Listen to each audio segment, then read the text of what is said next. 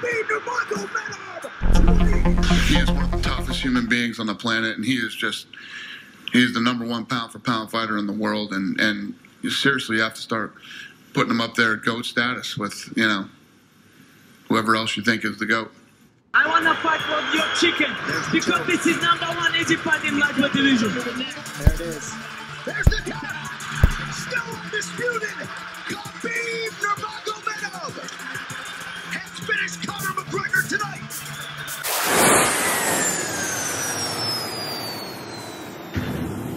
I mold my opponents.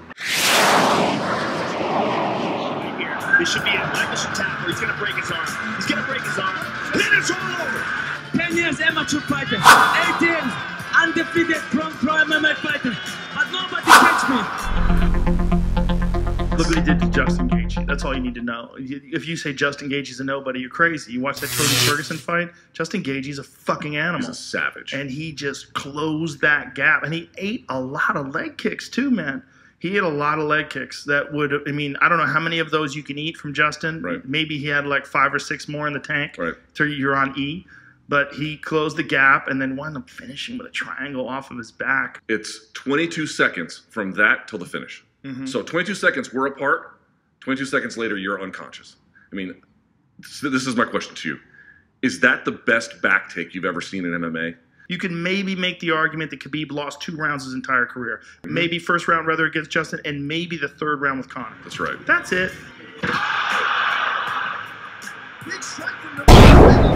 Big strike from Nurmagomedov. Right now, we just see flawless victory after flawless victory. That drop Tavares. And either one of those didn't get cut, didn't get dropped, didn't get hurt.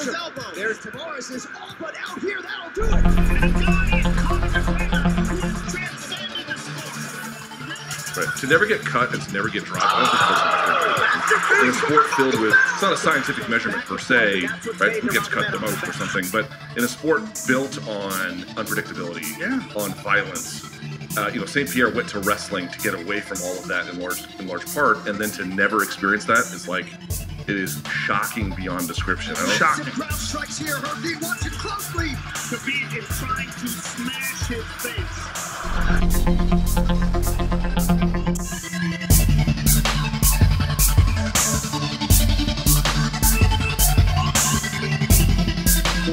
Georges St. Pierre was the fastest learner, the hardest worker. Something, the sky's the limit here. Georges St. Pierre dominant in every phase of the game, standing up and on the ground. he was looked at as the new 2.0 mixed martial arts fighter. In a lot of ways, he is the perfect fighting machine. He truly was a master martial artist across all disciplines. That is, without a doubt, the top contender at 170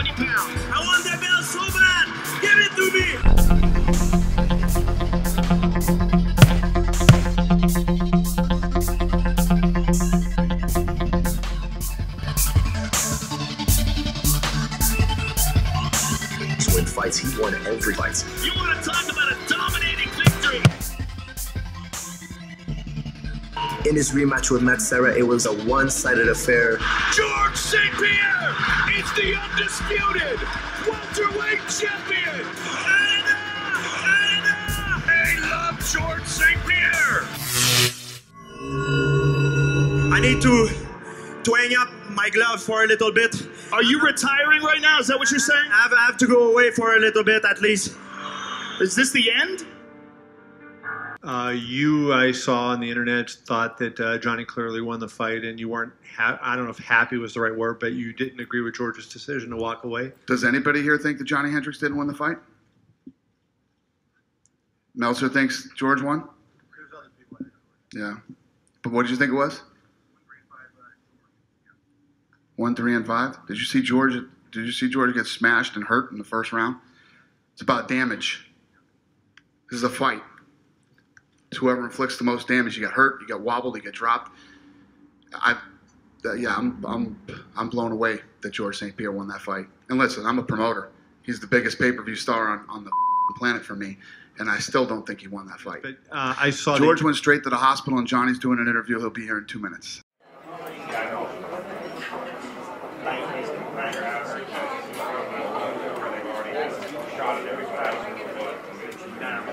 George, did you Uh, see, did you think that the two judges that gave you the fight 48-47 was that a fair representation to you, or did you think you won more than three rounds? I, th- I thought I, I won three rounds uh, out of uh, out of five.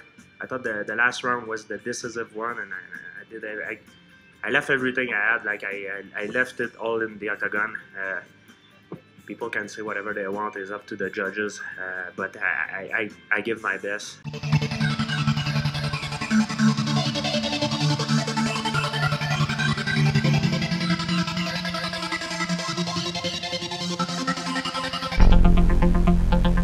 To middleweight to fight Michael Bisping.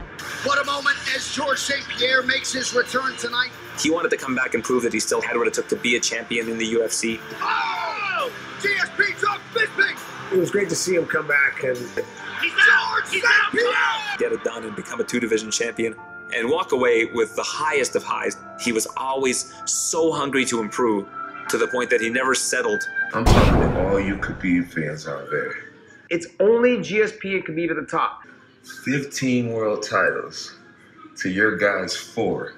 And you guys are really talking about who's the best fighter ever? You forfeit your conversation once you decide to be a PED chief. You guys are joking, right? 15 to 4? Are you guys kidding me? The only person that could possibly come back and challenge my record and what I've done in the UFC is possibly Georges St. Pierre. He would have to come back and win two championship fights to tie me. And I'm not even retired yet. I'm 33 years old.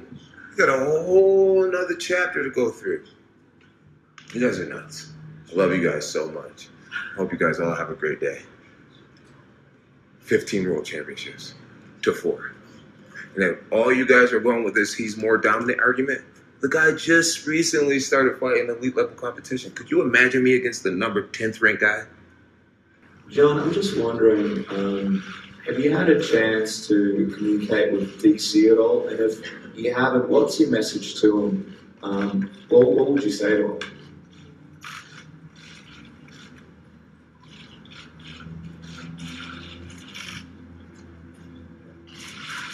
You know, I just want to tell him I'm sorry.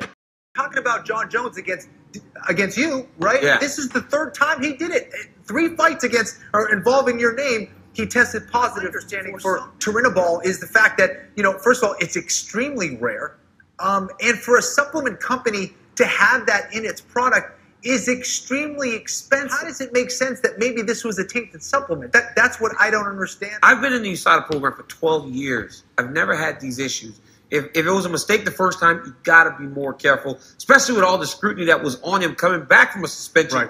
You've got to be cautious and careful. So Daniel Cormier uh, is saying before the fight that I'll end up poking him in the eyes at some point, and the reason why he says that is because I do poke people in the eyes, and it's very illegal, uh, but I do it. I react to people trying to punch me in the face by usually uh, sticking my hand out and pushing their face away, kind of like you see on TV, where like the big brother's holding his little brother, and the little brother can't hit him, right? Because his arms isn't like long enough or whatnot. And I do that in real fights. Like if someone's coming at me, I'll just put my hand on their forehead. And a lot of times they end up missing the punch that was intended for my face. And sometimes it lands in people's eyes. And uh, people hate that. They're like, Johnny, you're a very talented fighter. You don't need to use an illegal tactic to be successful. I try to tell people it's not intentional, but now I'm kind of known for it. And uh, it's working.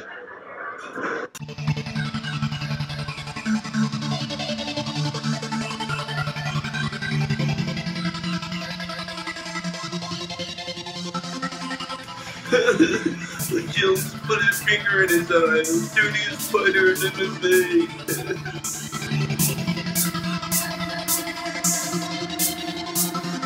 Jon, someone's got to sit here and tell you the truth, buddy. You got too many yes men around you. Well, I, I believe that I'm already the greatest fighter of all time. You know, my record speaks for itself.